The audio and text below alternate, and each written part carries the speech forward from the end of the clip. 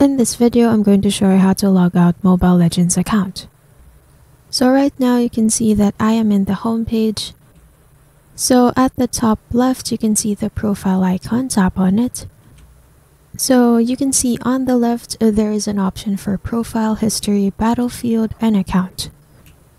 Tap on the account button.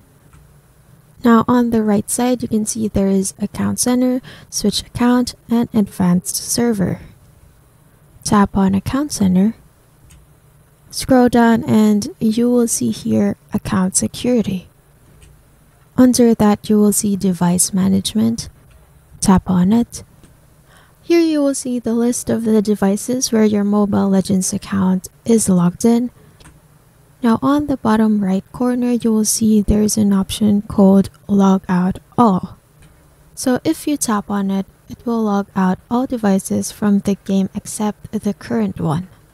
But if you want to log out uh, from the current device you're using, you just have to clear data and cache in your phone settings. And that's it.